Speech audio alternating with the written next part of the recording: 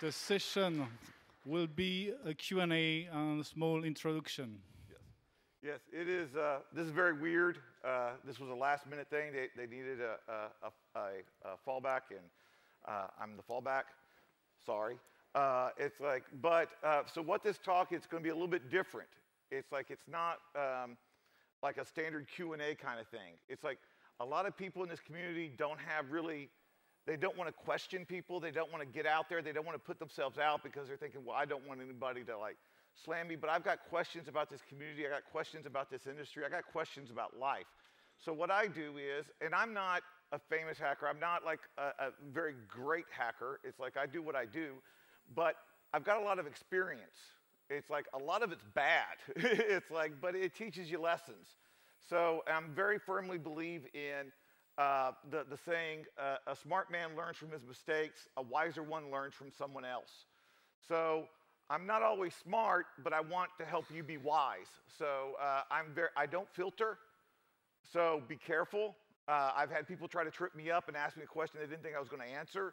They were surprised, uh, and not always the great way. So I don't, I literally don't care. It's like I'm not, I get paid to lie for a living. I don't do it for free.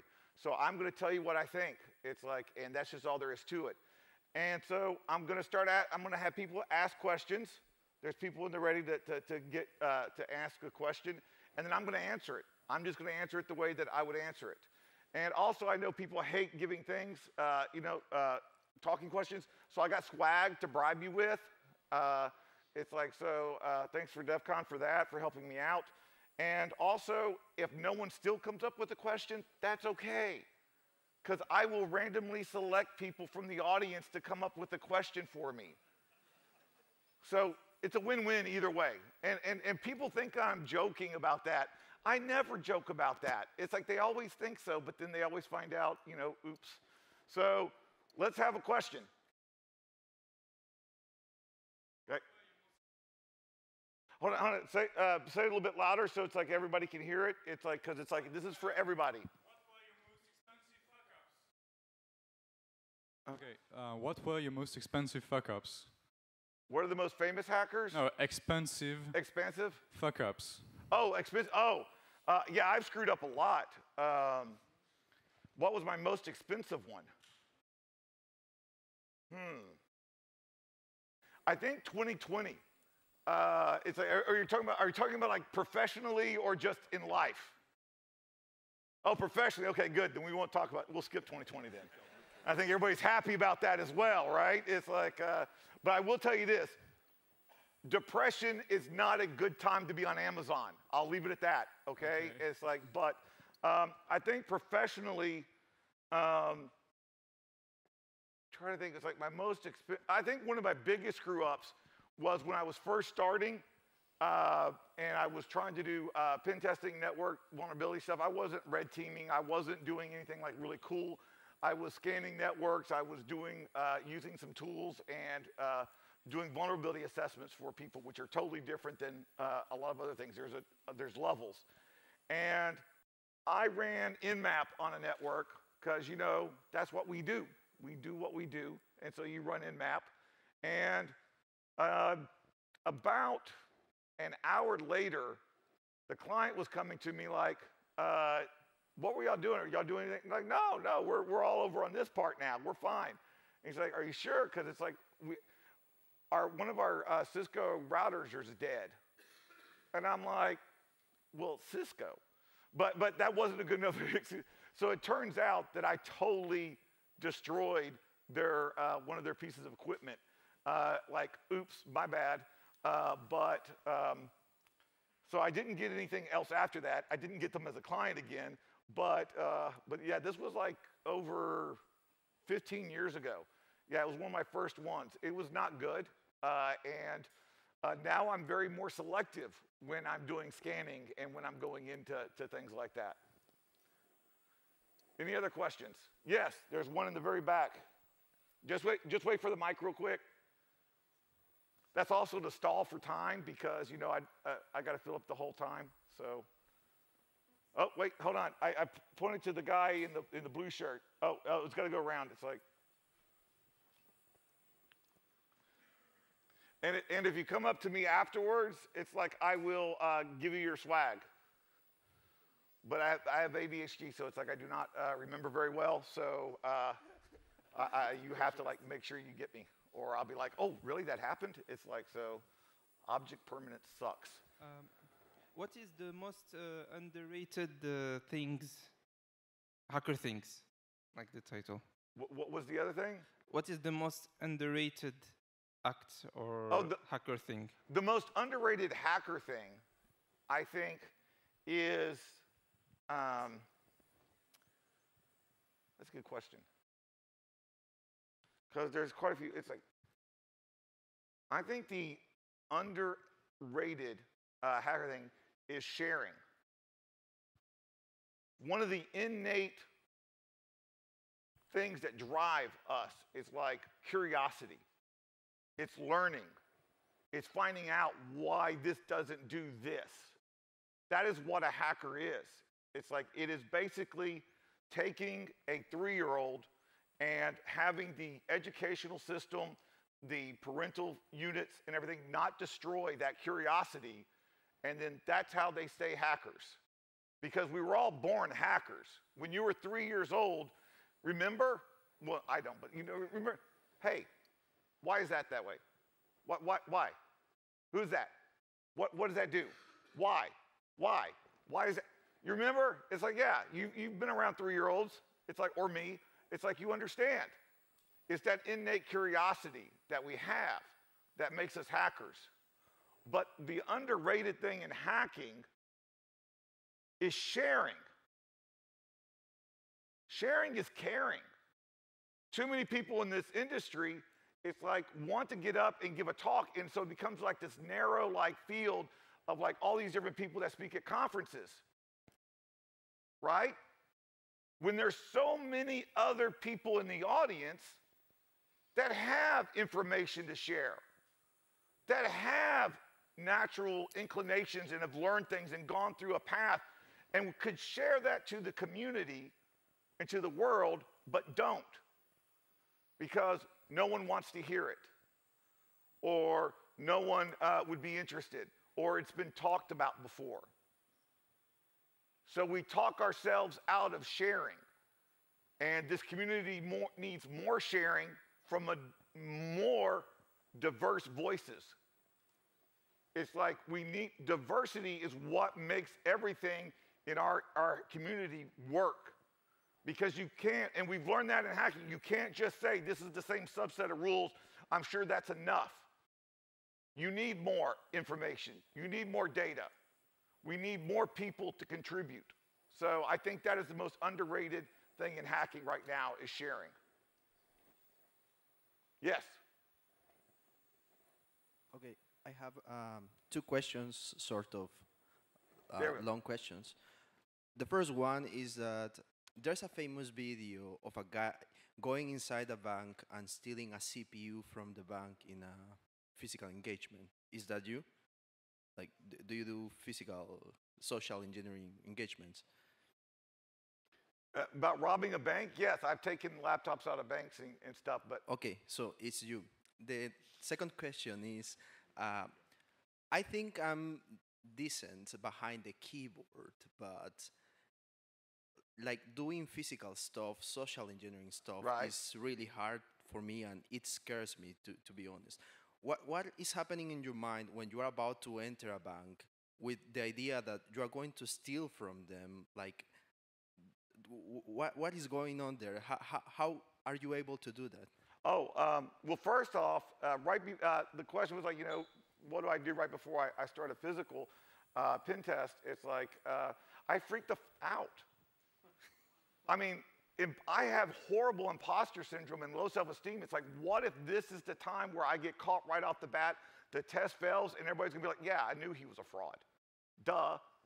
It's like, you know, it's like, or I didn't do enough for my client. I'm like, now they're not to want me to, to work for them ever again. They're to talk about how bad I was at doing their job. They're not, they're to lose what I was trying to do.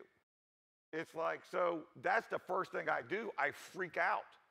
And it's like, and I have like nervous, I was like nervous right before stage. It's like, you know, because it's like, Yeah, I'm gonna have, I know people are gonna be walking out. It's like, because this is not a, an exciting talk. It's like, but yes, and that's cool because then I have that moment afterwards. And I realize it's not about me. It's not about me trying to break into the client or trying to show them how I could pwn them. It's about the client being able to be better secured because of what I'm doing. We have this myth that red teamers are rock stars or some kind of like special little subgroup of people that are like so awesome and, and break things. Uh, the only reason why the red team exists is to make the blue team better. And if you're not doing that in your job and thinking about being an advocate instead of an adversary to the people who hired you, you failed. So that's what I start thinking about. It's like, look, it's not about me. It's like whatever I do, they're going to learn from it. And every engagement that I go in now, I make sure I get caught. I deliberately make sure I get caught. And sometimes I don't have to try. It's like, uh, so, and that's the beauty of it. Because then when you're doing a physical, you need to understand something. A server doesn't get upset when you pop them with MS08-067 still, right? It's like they don't get, it's a computer, it doesn't matter. When you tell someone and you have to go back to someone and tell them that they shouldn't have let you in, they shouldn't have let you plug in that device to their computer, that's emotions. Those are people. They get upset. Will they lose their job? Are they going through a divorce at home? Are, are they going through bankruptcy? Are they afraid what's, you don't know what day they're kind of having, which is also the same for internet people, please. It's like, and so you don't know what they're going through, but you know what you're doing is to help them. And that is what you have to convey. It's like they shouldn't read that in a report three months from now, a memo saying they got uh, people let them in and uh, they have to work on their vulnerabilities. I always make sure I speak to every single person after the engagement. It's like after I have escaped, I talk to every single person and I personally tell them what happened, why it was bad, and then I explain to them this was not a test, okay? This was uh, teaching. This was a teachable moment, is what I call it. It's like you weren't, there's no loss, it was just a lesson. Your company wanted to make sure that you understood what these kind of attacks look like, so they sent me in. Now you know, now you'll do better. Uh, I have a second question. If Yes. Okay, so the other question is I'm relatively young and new to the industry and the hacking stuff. And I've seen that there's a lot, lot of people that maybe had internet access from the early days and they think of themselves like the OGs of hacking. And I've seen a lot of people in, on internet and forums like uh, sh- shaming the new people because uh, before the times were harder and better. And honestly, I think that's bullshit. And a lot of all people in the industry and the, in the scene has this attitude. So, what is your take on on that Oh, stuff? Lord. Because even us beginners, we, we are trying. Like things are different now, but we are doing this with passion. Right. Yeah. My uh, my take on that is, you know, he's talking about gatekeepers. He's talking about like, like, what do we do about the gatekeepers? It's like we're effing hackers. Screw the gate. Jump the fence. Go under it. Circumvent it. We don't have to be stopped. What you get is a whole bunch of awkward people who don't know how to deal with things, but they've got this one little skill, and they think they're the, I'm the best at this. So it's up to me to be the horrible person other people were to me when I was starting up, because that's the way it is. And like, I'm like, no. There's, I am literally not the only one in this conference that can give a couple of talks. And that, what I mean by that, I mean all of you. There is no people going and saying, oh, do you, I don't know how to program. I can't program myself out of a plastic bag. It's like I try to teach my, teach my youngest child how to code with Python with the No Starch book, you know, hacking with Minecraft and Python. Yeah. I got chapter two almost, and I was like, yeah, you're on your own, kid. You, you, you work with that. It's like, I'm sure that'll work. It's like, so, I mean, it's not my skill. That doesn't make me stupid. That means I'm just ignorant of those things. And ignorance is not a bad word. Willful ignorance is bad. But being ignorant of something and wanting to learn something is not a bad thing. It's like we constantly have so many people telling us what we can't do. But the loudest voice that we hear in our heads is ourselves, agreeing with them, trying to find out all the reasons why we can't talk, why we shouldn't share, why we can't do something. Screw that voice too. It's like, so don't let people say, oh, and most of them are like afraid. It's like you start challenging those, it's just like any bully that you see in school. It's like, it's just cowardness. They're afraid of losing their status. They're afraid of losing their credentials. They're afraid of losing their standing where we're like, I'm the big guy. I'm afraid that someone else is going to come in and be better than me. Too bad. And what I was saying before about diversity, it's like you, the, it's horrible. It's like because they want to limit people who they don't think belong, who they don't think should be somewhere. And I'm sorry, but that never works out for anybody. It's like everybody is welcome here. And I gave a rant uh, a long time ago at, uh, I think it was like two decades ago or so. Uh, it, was, it was 2019 at leHACK where I talked more about that. So don't let them say you can't be somewhere. Trust me, I never let that stop me when I'm going into a bank. But it's like, but do that. It's like understand you can do what you want to do, but don't let reality get in the way of you trying to accomplish it. Okay, I'm a high school dropout who used to live behind a dumpster. It's like, and I'm on stage, and for some reason people want to hear what I'm saying. That's not realistically something that's supposed to happen. I just don't care. So there you go. Thank you. Uh, there's one over here, and I'm just seeing how I see it. And also, it's funny to make the, the guys with the mics walk around. Yeah, raise your hand. Here we go. It's going to be like, by the time this, this whole thing is over, there's going to be like 20 people with mics just milling in the audience.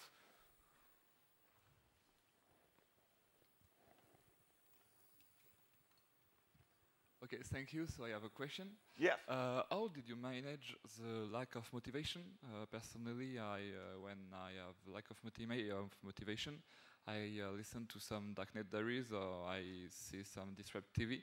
How did you do the lack of, of motivation for learning in cybersecurity of making just stuff? Uh, how do I further my education, or how do I get? I, Uh, or how did you get over the, the lack of motivation of learning? If you have uh, any time a, laugh, a lack of, moti- of motivation. lack of organ.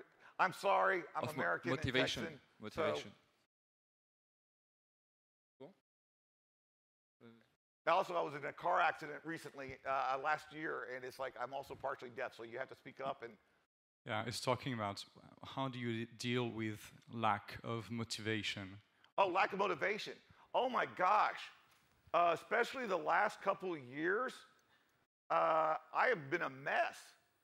It's like uh, I can't give good advice on that. I don't know how. Uh, it's uh, I've had problems. I've literally I was in Berlin in uh, in in the end of January of this year, giving a talk, and I've been like really depressed with you know my whole work situation and what's been going on, and some other situations that are going. And I was, and I love Berlin. It's like it's a beautiful city. It's like it's full of history. It's got like a lot of great architecture and the urban art. That's what I love. I love the graffiti. I love going to cities and seeing. It's like uh, France. I mean, Paris knows about that. Y'all have some amazing uh, street art here, and and I could have done some more walking. There were some places I wanted to go. I spent two days just in my room. I could barely get out of, out, out of bed. It's like I just wasn't motivated. I just couldn't do it. It's like, and so depression sucks, but it's like we, we have problems in our, I mean, a lot of people are neurodivergent in this industry and in this community. It's like it makes us better. It's like it makes us different. It's like that's all. It just makes us different. And so uh, I've been more open about mine so other people will realize it's not a bad thing.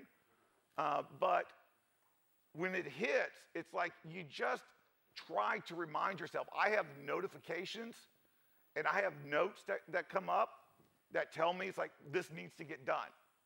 It's like when I have that certain time frame, it's like it helps my executive dysfunction disorder say, you know, oh, this has to be done now. So when you're, when you're losing that motivation, it's like it's hard to convince yourself to keep going. And that's why you need that external source. You need something else to like show you like, okay, no, you need to do this. And I'm a hypocrite if I say that it, it always works, because it doesn't. It's like, but that's the best thing, but that's the best thing I can offer. It's like, so when you lose that motivation, when you're working on a project and the, the, the exploit keeps failing, it's like, it doesn't matter. It's like you're trying it and you're trying to do something. And the effort is what counts, not the result.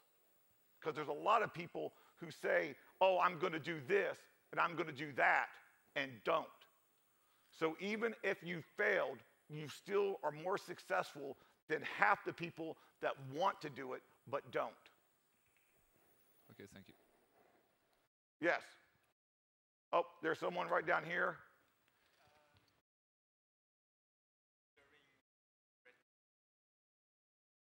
I just one second. Uh, they're wondering about red team engagements. A code of ethics. Oh, that's a very good point because there are some people that have ethic problems in this community that are social engineers. Um, but I would say, yes, I do have a code of ethics. It's like, and one of the key things uh, for any, and this goes to any uh, engagement. It's like in, in life, it's like, it's very simple. It's like, I do not harm people. I tried to do no harm. And what that means is, I do not send phishing emails out in the middle of an apocalypse telling people they're going to get a bonus. It's like as a company email. I don't send an email out to my employees to tell them that there's a free vaccine in February of 2021 and they need to register and sign up. That is, and I don't cuss very often, but please understand, that is fucking disgusting. Because you know what? You may not have had a lot of insider threats in your institution or your company. But after that email, I guarantee you do. When you want to give an employee a teachable moment, you can do a demo and show them how bad those phishing emails can get. Never sending to the employees, but using it in a company wide talk. I've done a talk on phishing emails and what I do and how I use those. And every example I use is horrible. I used the murder of two young girls as a phishing pretext. I never sent it. I showed them, and you're thinking like, that is horrible. Motherfucker, I'm trying to rob you. What part of criminal do you not understand? Because that's what criminals do. If you don't think that there are a dozen or more Red Crescent sites set up right now to aid the earthquake in Afghanistan, you'd be sorely mistaken. It's like after every single major disaster, before the help gets there, there's someone setting up a website to get money off of it. You do not stoop down to the criminal's level to teach that lesson to the employee. You do no harm. So you have to make choices.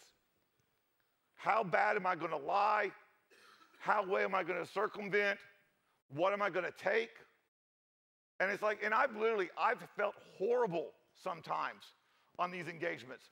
I told the Mother Teresa of Jamaica, who was the head of a charity organization in Jamaica, I told her I was putting them on television, that I was a TV producer, and I wanted to show them the, uh, one of the episodes we'd already filmed on my USB stick. I didn't directly show it to her because that way I'm not too evil, uh, but I showed it to uh, the, the main guy of the organization. That is effing horrible. Remember, I told you that I always go back after two minutes and go and talk to each person? The only time that did not occur was on that engagement. I literally was like legit, like, I called the guy up and I was like, um, um, yeah, you can't make me go back in. Uh, I'm not going in. I'm not doing it. It's like, I'm sorry. It's like, I've never said I was professional. I can't go back and tell those people what I did. So you need to let them know. Uh, thank you. Bye bye. Uh, so yeah, it was it was a little awkward. It's like, and I still feel bad about that, but it helped the company learn. I did not harm them in doing this. So that's the main thing. It's like do no harm. Uh, oh yes, one more, and then and then I'll start looking up that way. But yes. Um, hi. Um, my first question is, um, I think, very important, but uh, um, it's how are you? You talk about uh, two uh, hard years because of COVID and all all those stuff. Uh, my first question is, how are you? And the second is um, uh, linked to your professional activity. Uh, what is the fail that caused you the biggest shame professionally? I mean. Okay. The first question was, how am I? Oh, I'm doing better now. Uh, I was a train wreck. Uh, it's like whatever I share on, on, on, social media is like one tenth of what is actually going on. Uh, but it's like I try to make statements. I try to be honest with myself. And people don't realize I don't use Twitter as social media. That's my motherfucking live journal. That is what I use to remind myself because I am constantly, my whole room, they, everybody sees my lab, they see how chaotic it is, and it's full of all these things. Those are memories because I have a soundtrack in the back of my head constantly telling me how worthless I am and how little I've done and that I can't do anything. So I use those things as visual reminders and cues to like go, no, I've done that. That is cool. It's like, so it's like I use that as a visual reminder. So uh, I'm doing better though now. So I am doing better. It's like it's been rough. It's like I'm starting to find some positivity, and it's like I'm, and that's the reason why I'm starting to tweet more. It's like you're seeing more of the pictures of the Hacker Ventures.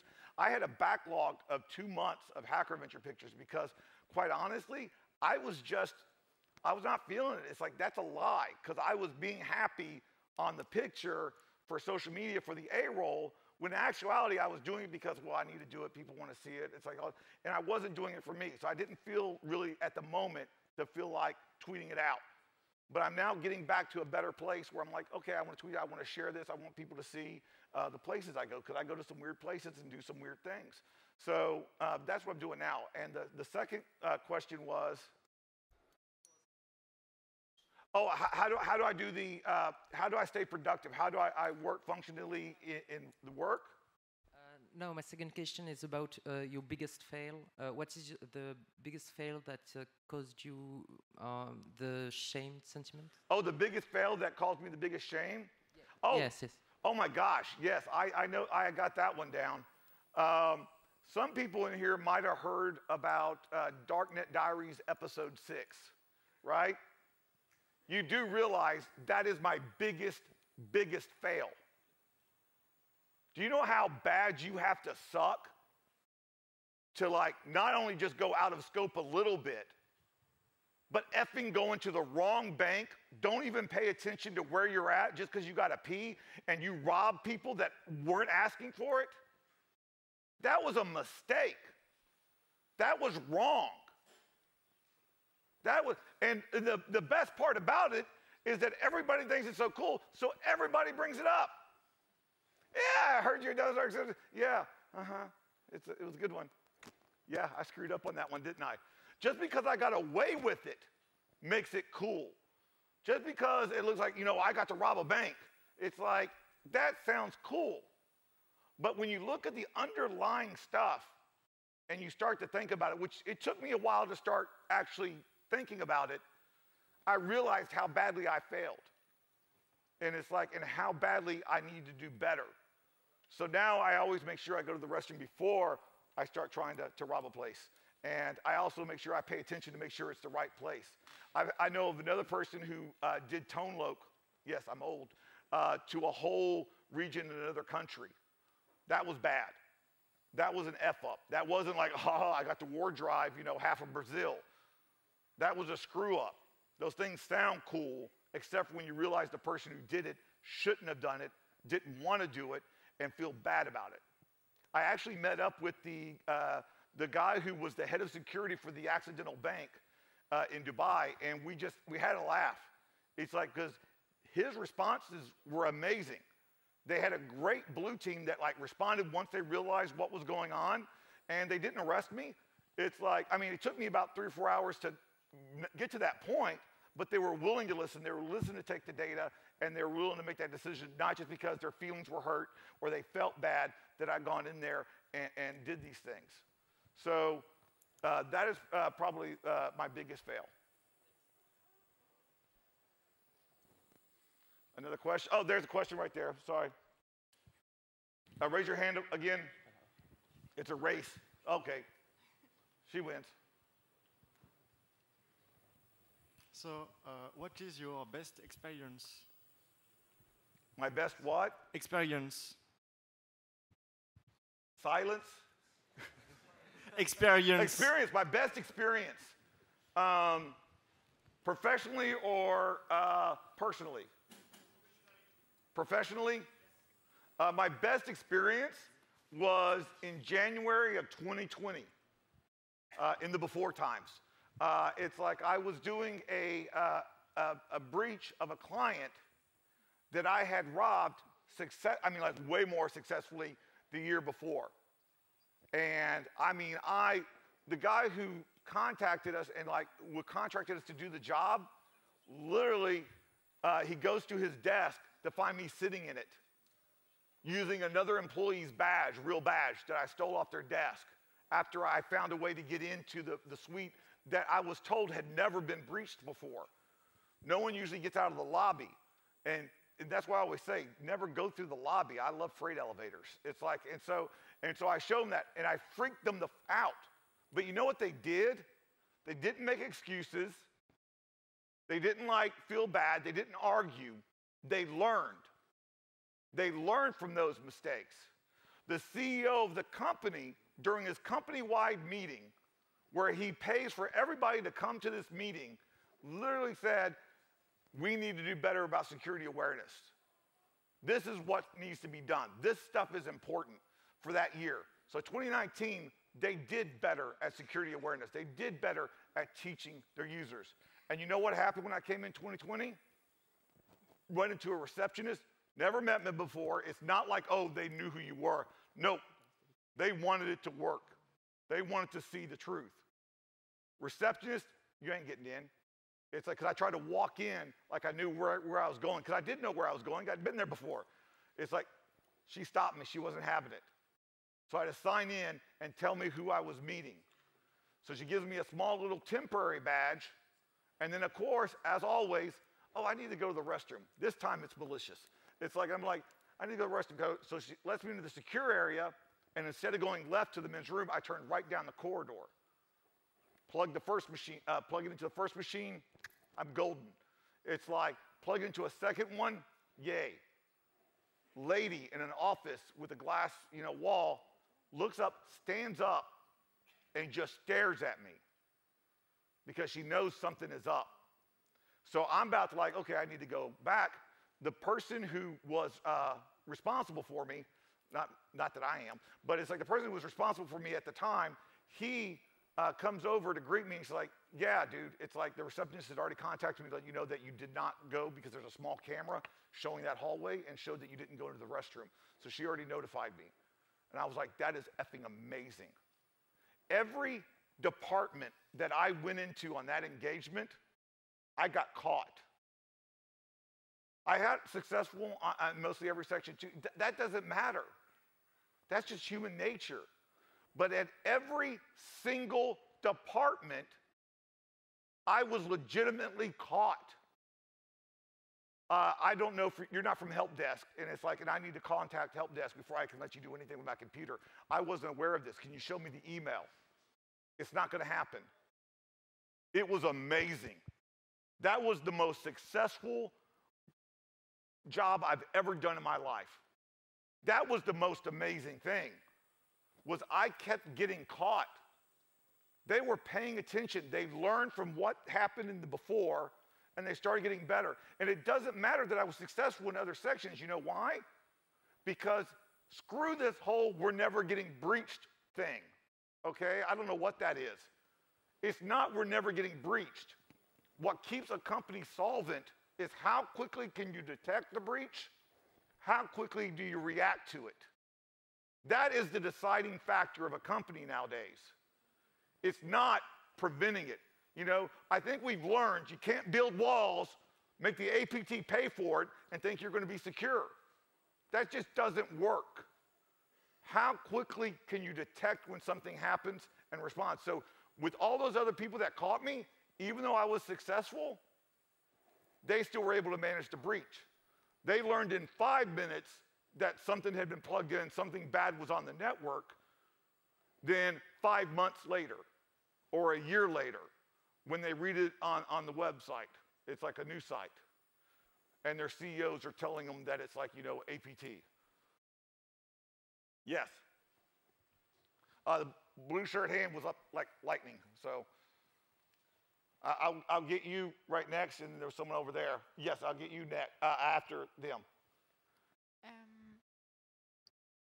Um, what are your advice for newbie hacking enthusiasts? What's my advice for uh, noob hackers, people Yeah. just starting out? Um, my best advice is uh, to stop believing yourself.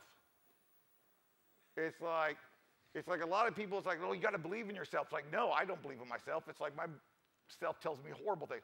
Stop believing what your voice says in the back of your head. Just start understanding, contribute, learn, and share. It's like learn and share. It's like learn and share how you failed. Share, I did a whole talk one year on nothing but my failures. Like, not the really cool failures, you know, where like, oh, I left an orange out and discovered penicillin. No, like, don't ever do this Titanic proportions, right? It's like, so just don't try to listen to the stuff that you're saying and the roadblocks you put up. Just keep learning and understand you are not alone. Everybody wants to be that special snowflake in the special snowflake blizzard, people. I'm sorry. Okay? That's not, the, that's not going to work. No matter how many black hoodies you see, you know, it's like, and how many people you see with all the cool stickers, we're all the same. We're all trying to do better. We're all trying to learn. And we're all needing to share information to others to help them out. Yes. Oh, wait, no, I, I'm sorry. It was this person next, and then that person over there. But yes, just one second. Yes. Okay, I have a question. I just want to call back what you said about don't limit yourself. But sometimes uh, you face of gender bias or race bias, so you can have uh, some voice in your head. Don't limit yourself, but it depends of the environment that where you work. I have a question: How you you deal for your own bias? Because I know that bias can often make me take the bad decision in work. How you do deal with that with your own bias? Yeah, um, bias sucks. Uh, it doesn't suck uh, as much for me because I'm a white guy. It's like, let's be honest. It's like expectations for me are lower. It's like in this thing.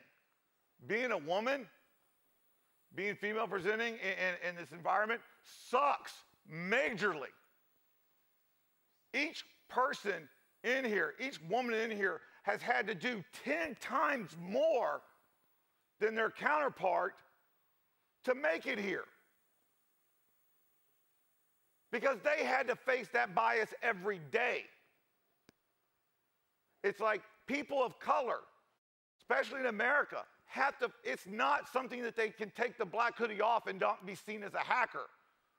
That is something that they are born with and have to deal with every single day that they shouldn't. Our community, like what I was talking about was diversity. That's exactly what's going to save this industry. And I, I think a lot of other things. We need to understand that we are just meat robots. I am nothing but a meat robot. I am a consciousness that is going around, and I use these things, and I use my external uh, meat robotic, organic robotic body to take me to the places and, and tell, say what I want to do. That's my consciousness. My meat robot has nothing to do with what knowledge I share. It doesn't have anything to do with what I'm trying to do. It's like, I don't care what uh, your paint job is on your meat robot. I don't care if you decide later to change the equipment on your meat robot. I don't care who you decide to couple with, it's like with your meat robot. That doesn't matter. What do you know and what can you share? So you are going, and I can't tell you, I'm not going to, sorry, can't lie. I can't say, oh, it's going to get better. It's like, not just yet, until we get more people who are already facing that burden speak out more and start motivating. There are a lot of great people on Twitter, there's a lot of great people in this society and in our community that are being louder. They're not knowing their place. They're speaking up. And a lot of people hate it. And I'm here for it with popcorn. It's like one of the best advice that I give people when they're trying to do new job interviews. It's like I have people come up to me. It's like, and a woman comes like, well, I don't know. What do I do when I get a job interview? Because I'm start analyzing all the requirements and I don't meet all those. And I'm like, girl, please, okay? You know what you need to do? You need to channel your inner mediocre white dude, okay? That's what you need to do. Because I'm a mediocre white dude. Anytime I go to a job interview and someone's telling me something I don't know it, I'm like, yeah, I don't know it just right, but I, I will because I'm really good at Google. It's like, and I'm a sharp learner and I can, I can perform. They're like, well, do you know uh, this thing? It's like, well, give me a second. It's like, oh, but it says that you're not familiar with this protocol. You know what? Your company is, and you hire me, I get to learn it the way that you do it. So many people color, so many women look at a job resume, uh, a, a job posting, and they go, oh, I don't know that very well. Or I don't know that very. Girl, you don't even have to wait for the gatekeeper. You're doing it for yourself. It's like, what's the harm in asking? What's the harm in trying? Because there's a lot of harm about not doing nothing. And we also need in this community a lot of mediocre white dudes to stand up and lend and amplify their voices to those people. We need a lot more of those people who are comfortable speaking up. It's like, uh, it, it, trust, I don't want to go, it gets, I'm very, it's a very touchy subject with me. It's like, because, you know, we don't need allies that just talk and share something like, and try to be like, you know, positive on the internet. But we need them now standing up when it's unpopular. Standing up when it's got, they got something to risk. Because you know what? Every single person they're trying to help always has had to risk that. And that is what we need to start doing. It's like if you don't think you, if you want to know what living on the edge is like, living with risk, being dangerous, try to think of a person of color walking down a street in Houston, Texas. Takes more courage than I've got. I don't have to fear when I get pulled over by the police, usually. Sometimes I get scared because I'm pretty sketchy. But I don't have to do that. And because it's outside of my realm of possibility, I forget how hard it is because everything's great for me. I can go to a party at a hacker uh, conference and I don't have to worry about my drinks getting roofied. I don't have to uh, worry if someone's following me to my hotel room. I don't have to make sure that I have contingencies and people that will check up on me eh, through the night or the night after or the morning after to make sure I'm still alive. I don't deal with that. That's out of my realm of possibility. And it is an everyday occurrence to those people it applies to. And we don't like thinking about those things because those things are not cool. Those things are not happy go lucky stuff. And that is the reason why they're still having to deal with that in silence, and we're trying to turn a blind eye to it. Wow, that really brought the room down. Yes. Yes. Uh, is it working? No. Yes? Okay. Uh, it's not as a big question as the previous one, so sorry for that. uh, how did you deal with your family? Uh, all this, we all think about all the, the time spent on computers, trying to learn, to, to read books. How did you deal uh, with your family time? Uh, how, do, how, do you, how did you manage that? Uh, not very well. Um, I tell people, people are like, say, I'm so good at something. I'm like, yeah, because I'm a horrible husband and a lousy father. It's like, it helps. Uh, it's like, the, the key thing is, uh, and my thing is different. It's like, because I come from a lot of childhood trauma, and I've come through a lot of, I literally thought for like the first five, ten years that I, I was traveling and doing, I thought the more time I was away from my family, the better would be because I was such a horrible father and I was such a horrible influence that they didn't need me to be there. Uh, I started uh, in 2021, I started taking uh, medication for my ADHD. I started realizing it's like, you know, and embracing the part that I'm on the spectrum and, and I don't need to mask so much. And I started realizing I can be good enough. And so I've started carving out family time. It's like, so that's a good thing. It's like uh, my also my uh, relationship and my uh, personal stuff is way more diverse and, and, and different than most cookie cutter normal families are. So it's like, and I'm okay with that too, and everybody's okay with that, but that's just the way it is. But I'm still trying to be better as a human, which means being better at someone that's interacting with those people, because children are not your property. Children are not what you own. They're ones that you've been bestowed responsibility for for the first 18 years, 20 years of their life. So they can make changes that you don't like. They can do things that they don't like. My youngest child has decided to change their name. And I was like, I'm all here for it. Would you like me to start calling you that? Or would you like to just wait and say, no, no, you can keep calling me this, but I want to get it legally changed. This. And I said, that's exactly what you should do. Because you know why? I didn't know you when you were born. Why do you get to be stuck with the name that I gave you without even knowing you sight unseen? It's like, so you choose the name that represents you because you should know you and that should be your name. And that is exactly the way it is. It is not my job to keep them in this little mold that I have of what it was. And I've gone and I've struggled with it. I've struggled with like some of the things like, oh, oh, they're thinking about doing that, or it's not about me. I should be there for them. I should be helping them as they go along and down this path. I shouldn't be another roadblock they have to overcome. All right, next question.